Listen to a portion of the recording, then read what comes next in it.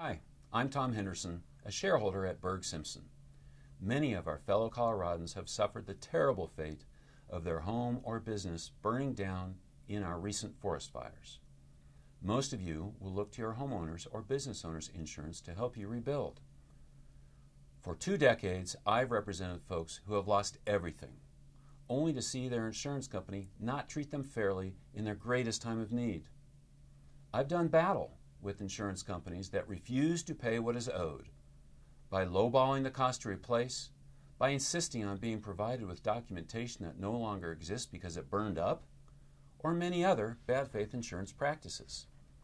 Since I spent the first 20 years as a lawyer working for the insurance companies, I have a behind the scenes understanding about the tactics they employ to avoid paying what is owed.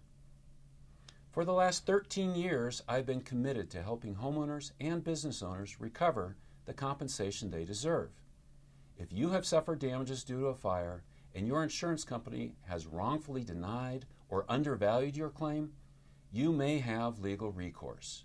To learn more about how our bad faith attorneys can help, call me, Tom Henderson, at Burg Simpson today.